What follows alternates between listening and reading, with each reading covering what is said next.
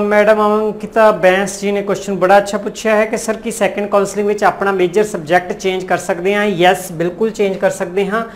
Major subject change ਕਰਨ ਦਾ ਮਤਲਬ ਹੈ ਕਿ ਤੁਸੀਂ ਆਲਰੇਡੀ ਇਲੈਕਟਿਵ ਪੜਿਆ ਹੈ 3 ਸਾਲ ਪੜਿਆ ਹੈ ਇਹਦੇ ਨਾਲ ਤੁਸੀਂ ਜੌਬ ਲਈ ਐਲੀਜੀਬਲ ਬਣਦੇ ਸੀ। ਜੇ ਤੁਸੀਂ ਚੇਂਜ ਕਰਨਾ ਚਾਹੁੰਦੇ ਹੋ, ਤਾਂ ਉਹ ਵੀ ਇਲੈਕਟਿਵ ਤੇ 3 ਸਾਲ ਪੜਿਆ ਹੋਵੇ, ਇਸ ਵੱਲ ਜ਼ਰੂਰ ਧਿਆਨ ਦੇ ਲੈਣਾ ਚਾਹੀਦਾ ਹੈ।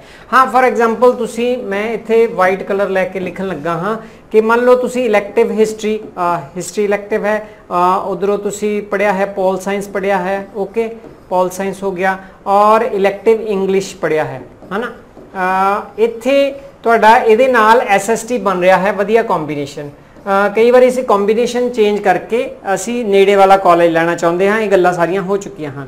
ਇੱਥੇ ਜੇ ਹੁਣ ਤੁਸੀਂ ਚਾਹੋ ਕਿ ਪਹਿਲਾਂ ਮੈਂ ਐਸਐਸਟੀ ਤੇ ਐਸਐਸਟੀ ਪੜਿਆ ਸੀ ਇੰਗਲਿਸ਼ ਮਾਈਨਰ ਹੀ ਬਣਨਾ ਹੈ, ਹਨਾ, ਜੋ ਕਿ ਇੱਥੇ ਮੇਜਰ ਦੇ ਬਰਾਬਰ ਹੈ। ਹਾਂ, ਤੁਸੀਂ ਦੁਬਾਰਾ ਮੇਜਰ ਜਿਹੜਾ ਹੈ ਹਿਸਟਰੀ ਲੈ ਸਕਦੇ ਹੋ, ਦੂਜੀ ਕਾਉਂਸਲਿੰਗ 'ਚ ਇੱਥੇ ਹਿਸਟਰੀ ਲੈ ਸਕਦੇ ਹੋ, ਇੱਥੇ ਦੂਸਰੀ ਕਾਉਂਸਲਿੰਗ 'ਚ ਪੋਲੀਟੀਕਲ ਸਾਇੰਸ ਲੈ ਸਕਦੇ ਹੋ, ਪਰ ਜਿਸ ਦੀਆਂ ਸੀਟਾਂ ਬਹੁਤ ਘੱਟ ਹੁੰਦੀਆਂ ਹਨ, ਹਨਾ।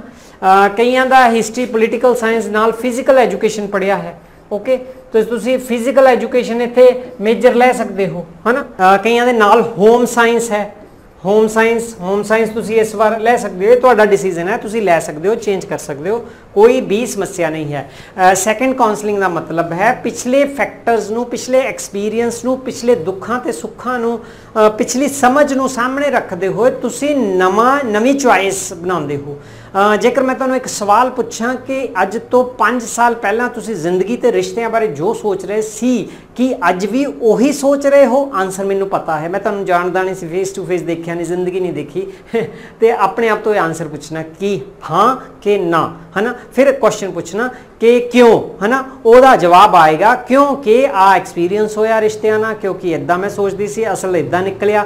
ਹੁਣ ਸੈਕੰਡ ਕਾਉਂਸਲਿੰਗ ਵਿੱਚ ਇਸੇ ਤਰ੍ਹਾਂ ਤੁਸੀਂ ਕਈ ਅਸਲੀਤਾਂ ਜਾਣ ਚੁੱਕੇ ਹਾਂ, ਤਾਂ ਤੁਸੀਂ ਆਪਣਾ ਸਬਜੈਕਟ ਮੇਜਰ ਚੇਂਜ ਕਰ ਸਕਦੇ ਹਾਂ, ਪਰ ਚੇਂਜ ਦੋ ਤਰ੍ਹਾਂ ਦਾ ਹੁੰਦਾ ਹੈ।